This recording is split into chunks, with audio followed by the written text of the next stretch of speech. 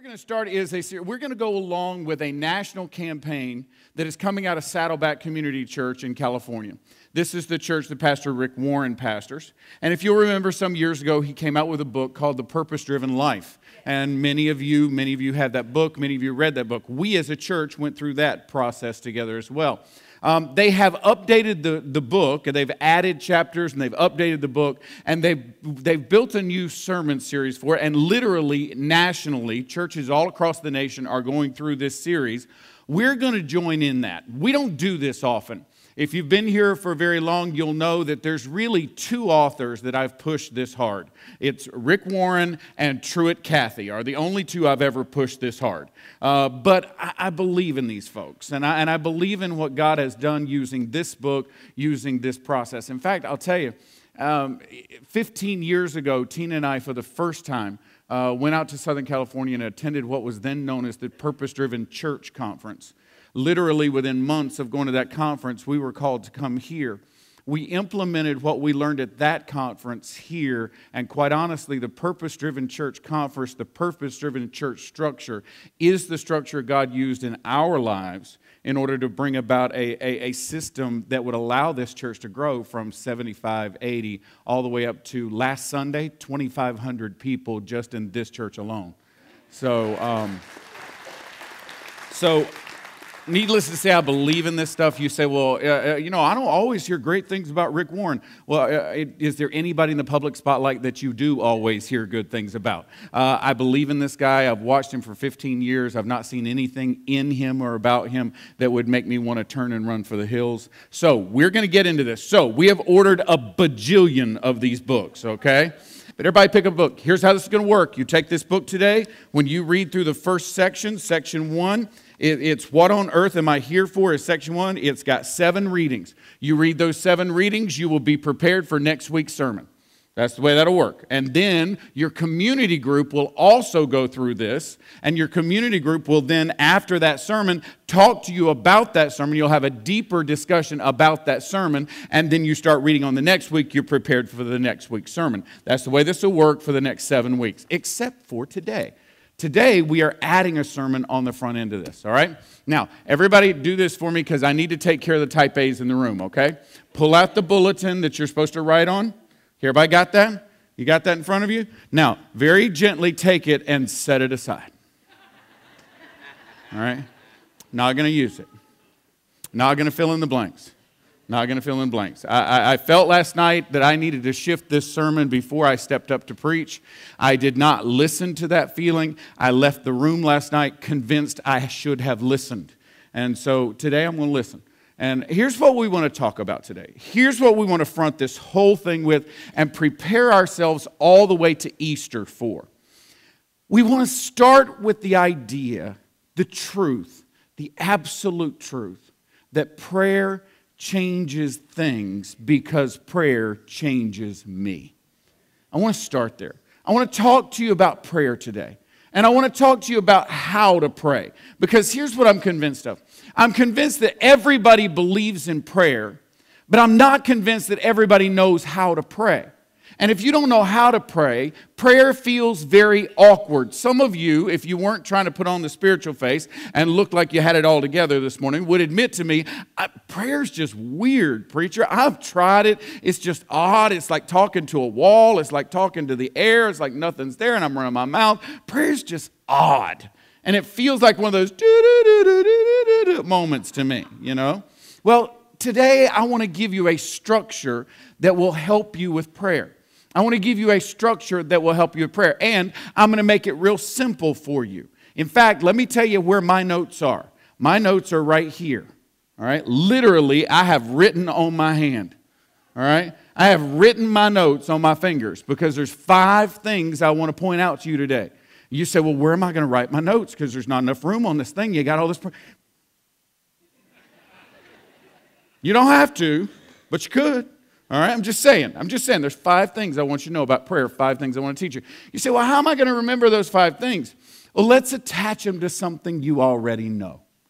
Let's attach them to the Lord's Prayer because this is where Jesus taught us how to pray anyway.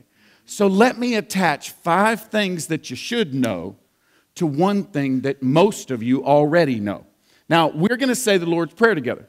And just in case you don't know it, it's okay because not everybody knows it. If you've been in church your whole life, you know it. If you're a Catholic, you're going, well, it's about time they said the Lord's Prayer in church. So we're going to do that. don't think I don't know that.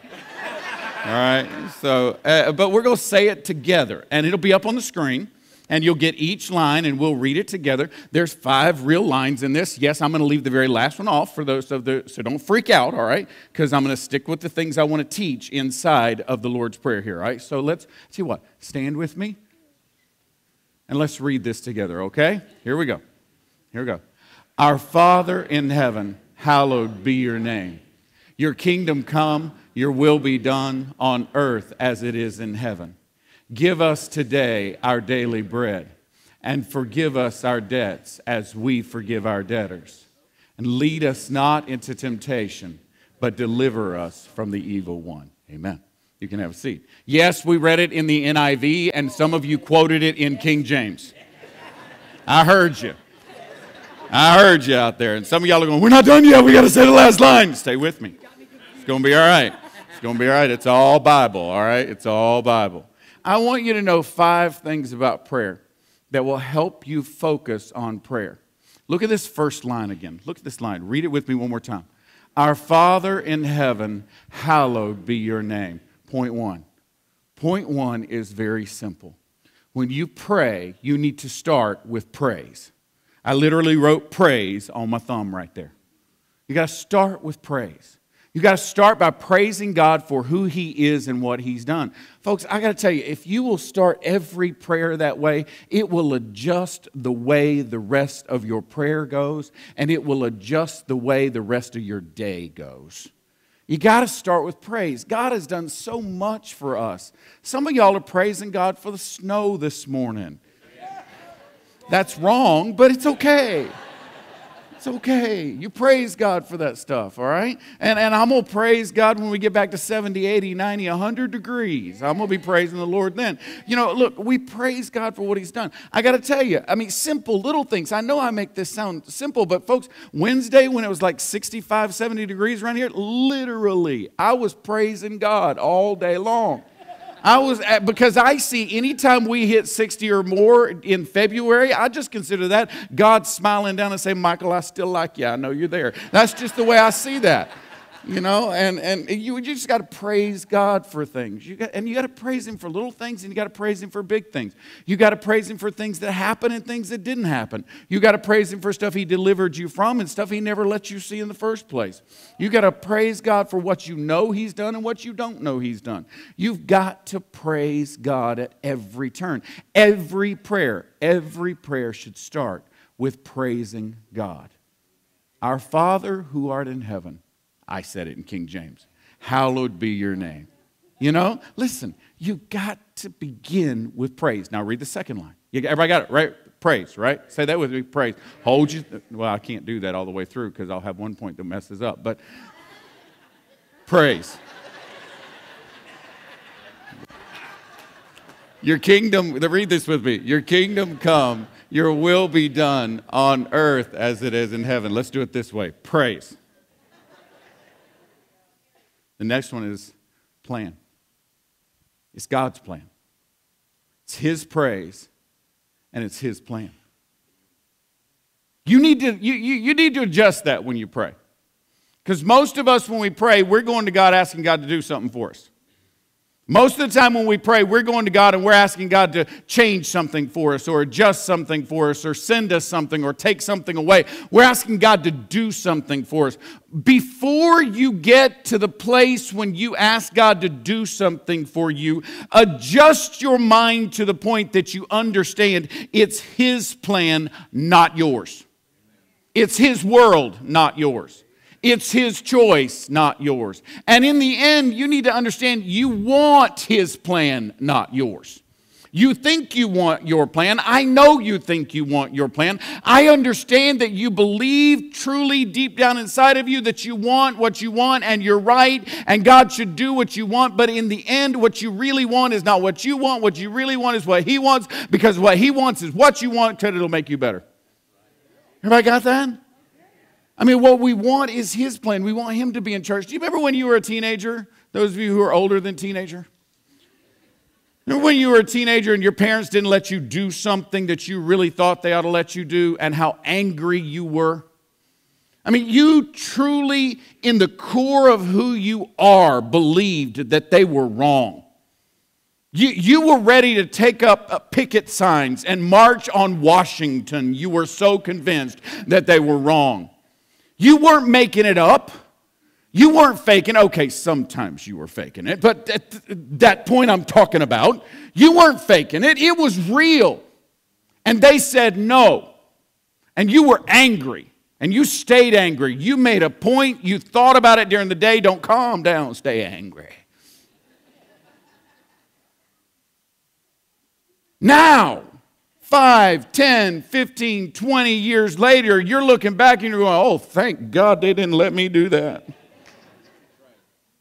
Then you sincerely were angry. Now you truly understand.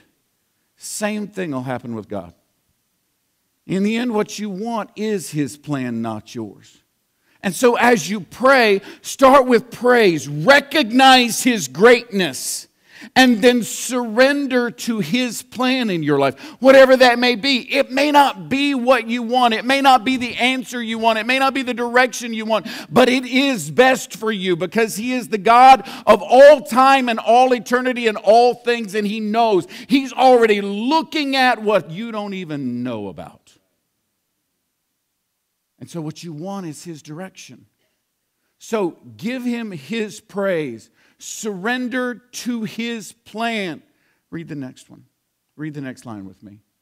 Give us today our daily bread. Thirdly, give him his praise, surrender to his plan, and recognize his power. Recognize his power. He's the one that provides for you. He, even the simple things, even the loaf of bread, God has provided for you. You say, Well, I have plenty of power to go buy a loaf of bread. Wait, wait, wait, wait, time out. Why do you have the power to buy a loaf of bread? Because God gave it to you. You need the power of God even to find your daily bread, much less to accomplish anything else in this world. Because, listen, everything you are, listen, you got to hear this. Everything you are incapable of, He is capable of. Now, here's where we get to the asking part. See what's happened? I've shifted my thinking. I've given him his praise, so I've recognized his greatness.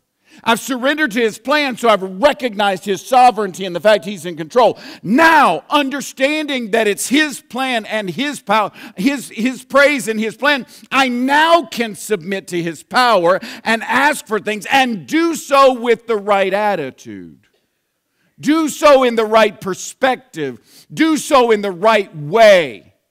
See, when I ask God for things, already having given Him praise and surrendered to His will, I ask Him not demanding somehow, but asking Him as a willing follower, a submitted servant of His. Now I'm asking in a different way. The Bible's clear. We can come to the throne with boldness. Everybody's got that? You don't have to slink your way up to the throne of grace. You can come to the throne with boldness, but you better not come with arrogance. Everybody got that? We learn to come to the throne crawling on our knees. And what resets our thinking is when we give Him His praise and we surrender His plan before we ask for His power. But once we get to that point, you need to recognize there's nothing you can ask for that is beyond His power.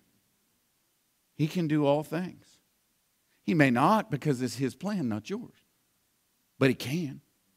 If he chooses not to do something in your life, it's not because he lacks ability, it's because he knows what's best. And we don't understand that all the time.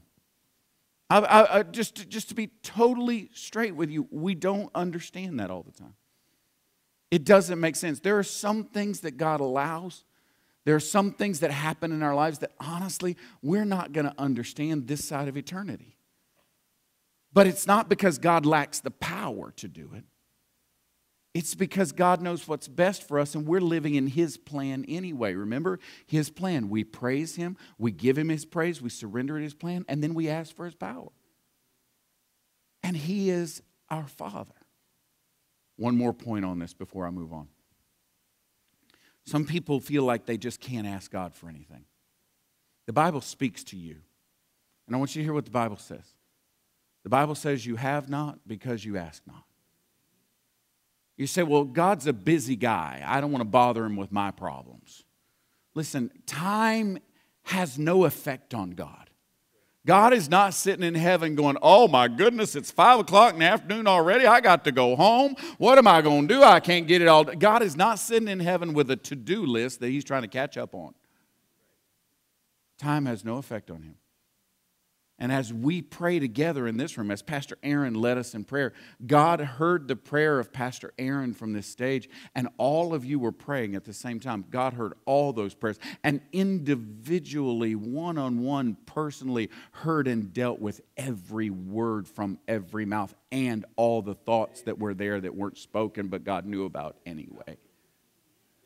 That's the God we're dealing with. He wants to hear from you. It's like a parent I mean, as a parent, you probably had this moment where you know what a child of yours needs. You see it, but you're not going to intervene for whatever reason. Either you're trying to teach a lesson or you promised you'd leave them alone. You're not going to intervene, but you know what the child needs and you're just sitting over here and you know what this child needs and you have the capacity to provide what this child needs and you're sitting here waiting for whatever reason you're just sitting here waiting and waiting for that child to come to you and say hey would you help me with this? And when they finally come you're like whoa why did you wait so long to come to me? I can help you with this. I think that's the way god's dealing with us so often I think he's just looking at us saying, I think God's in heaven just waiting on some of us saying, you know, if you just ask me, if you just trust me, if you just trust my plan and lean on my power, it'll be all right.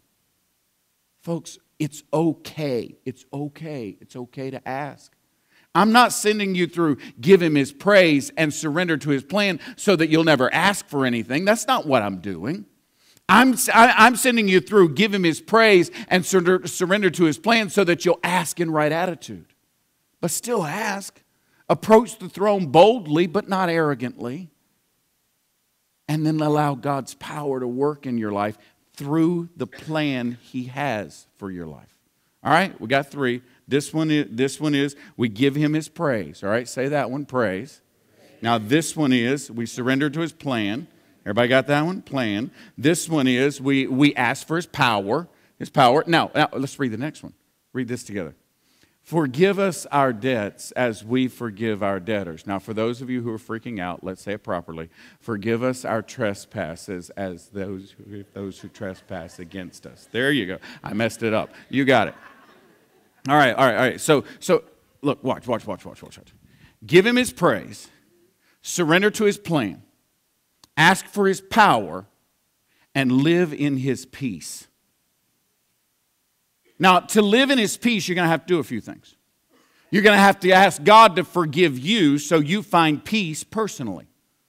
You're going to have to ask God to forgive you, forgive us our debts, forgive us our trespasses.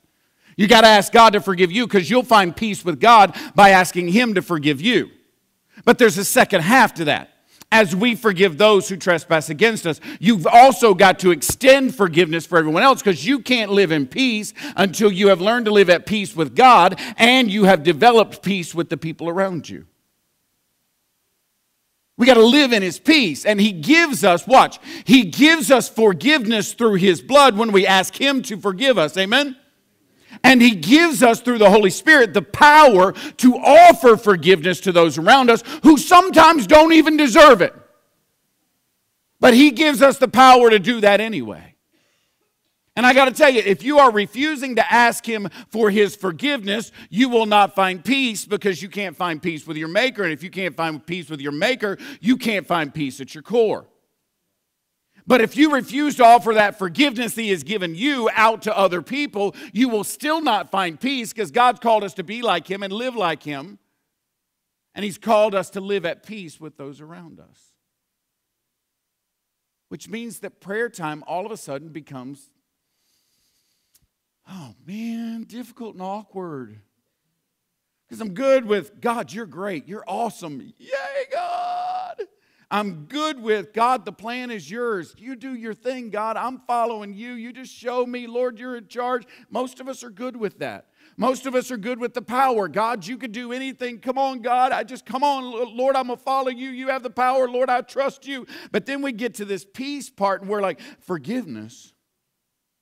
Well, I ain't done nothing all that bad. And if we get past that one, then we run headlong into forgiveness. Oh, mm-mm, oh, no, oh no. Mm-mm.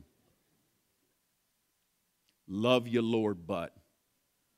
Not even you can let that one into heaven. no. But if you don't learn to receive forgiveness from God and extend forgiveness to others, you'll never truly find peace. Because that's where peace exists. All right? Say, come on, preacher. I just, I just want to pray. I don't want to go through all this. Yeah, I just want to send you through all this so you'll actually know how to pray. I'm going to give him his praise. I'm going to surrender to his plan. I'm going to ask for his power. I'm going to live in his peace.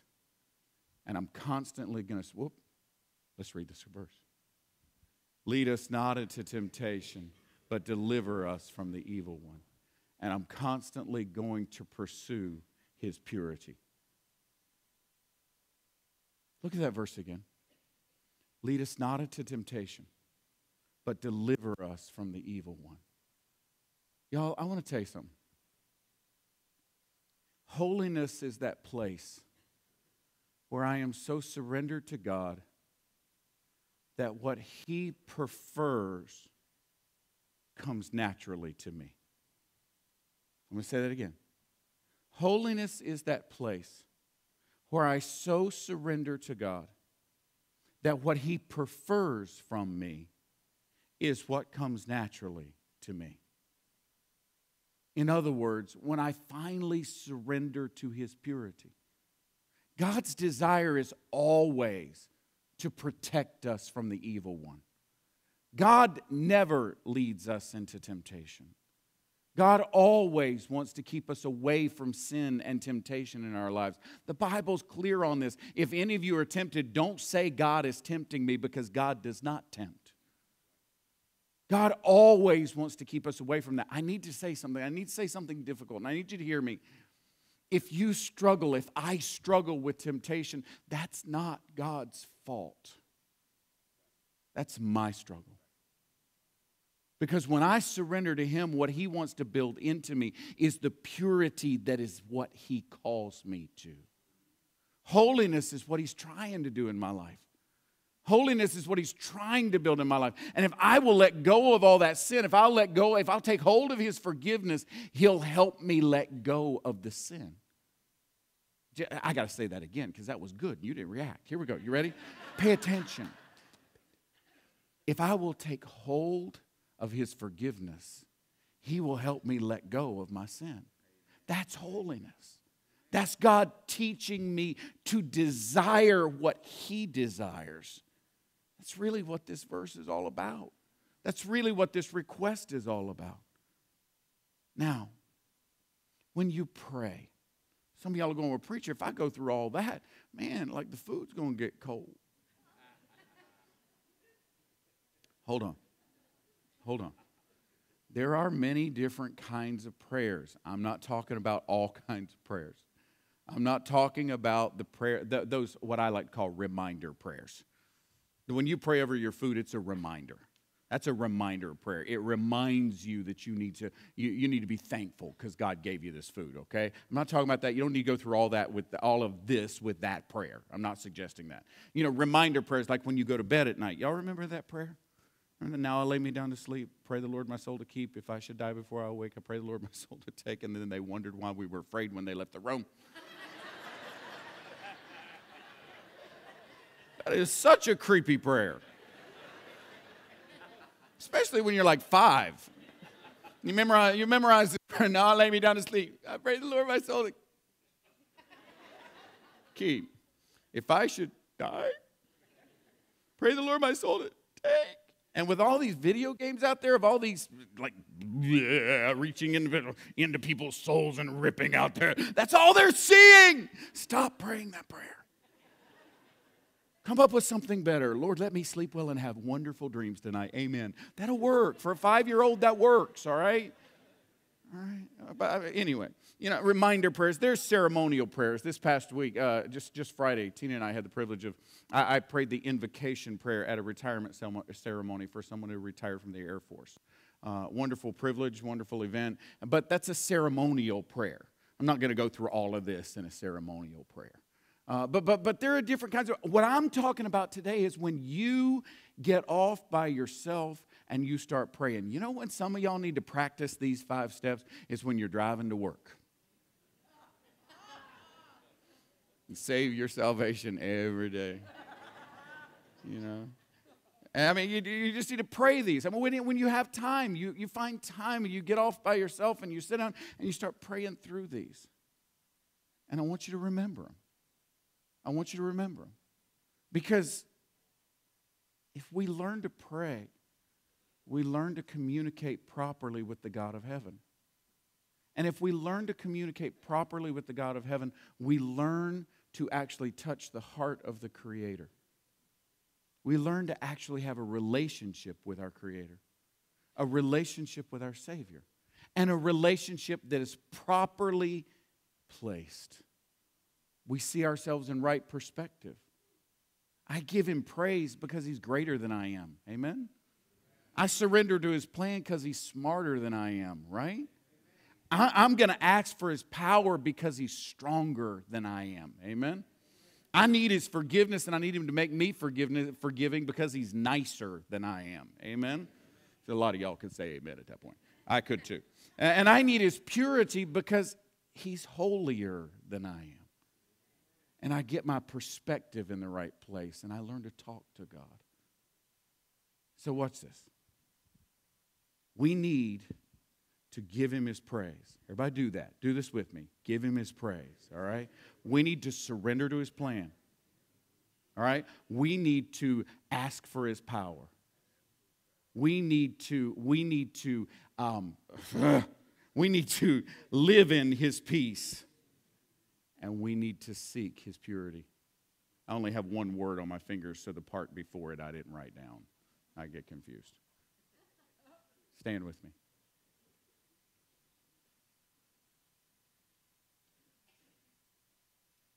Let's say this again. Would you throw it back up on the screen for me all the way through? Let's read this together again. Our Father in heaven, hallowed be your name. Your kingdom come, your will be done on earth as it is in heaven.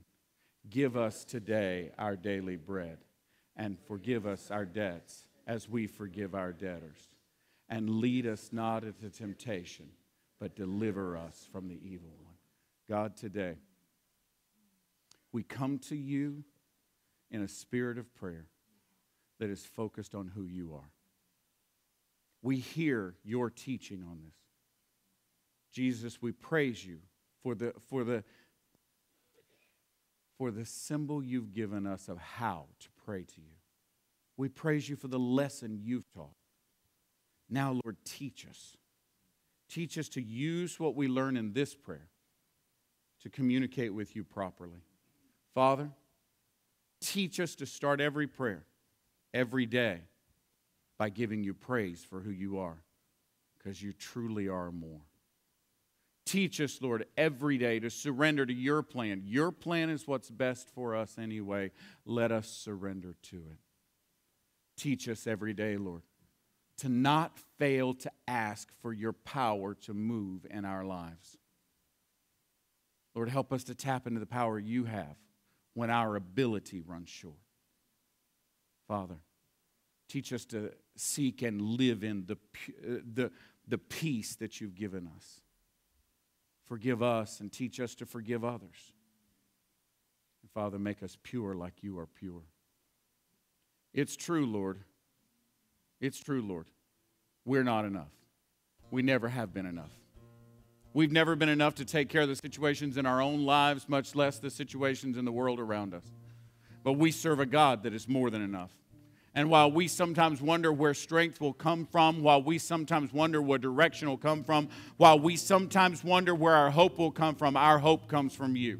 Because I am not enough. No one in this room is enough. All of us together are not enough. But your grace, Lord, your grace is more than enough.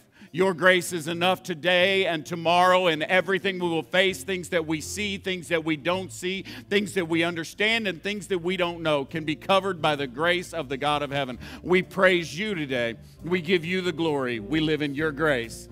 In your name we pray. Amen.